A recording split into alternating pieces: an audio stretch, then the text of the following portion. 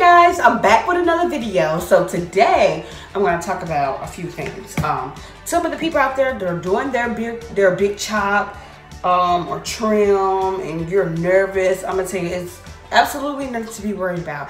I mean when i cut my hair for the first time i freaked out. My grandma freaked out. My dad freaked out. It was like like it was blown out of proportion.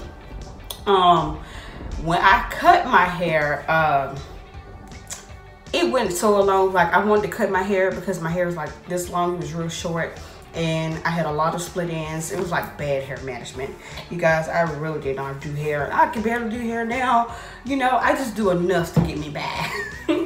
But i remember when um i first went natural um i remember the conversation me and my sister had. It went something like um we wanted to cut our hair but we were terrified to cut it.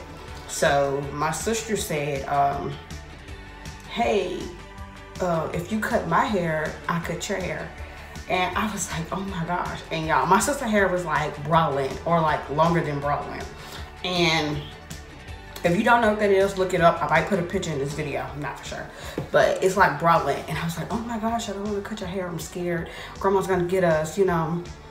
And um, I started cutting her hair and I was like, oh my gosh, I'm cutting all your hair off your head. I was terrified. So once I got done with her hair, she started cutting my hair. And we kept our hair in bags, y'all, for a long time. Don't do that. I kept my hair in a Ziploc bag, but my sister cut my hair. I freaked out. I was like, oh my gosh. And then I was like, oh my goodness, I did it. I can't go back. It's done.